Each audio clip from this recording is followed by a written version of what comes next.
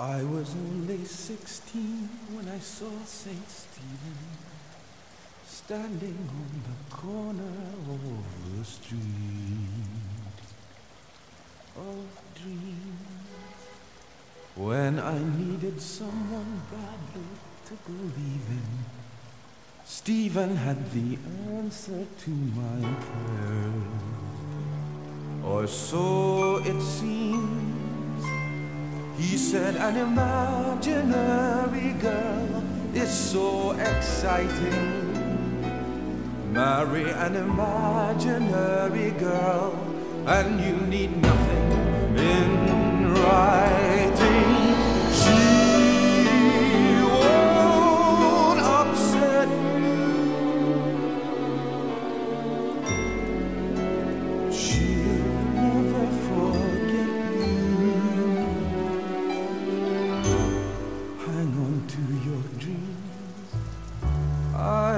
Get you one